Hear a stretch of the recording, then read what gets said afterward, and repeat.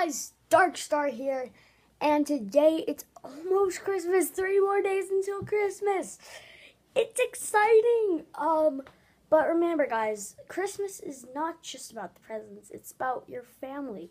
So, um, hope you have a good time with your family. Um, hope you have fun time unwrapping your presents. But guys, um, I just wanted to do a quick announcement. Please subscribe to um, Slayer Star 0407 and um, one of my other friends. I'll post it in the comments below what his name is. But uh, yeah, guys, if you enjoyed the video, thumbs up. If you guys hate it, thumbs it down. Oh, guys, wait, I need to say something real quick.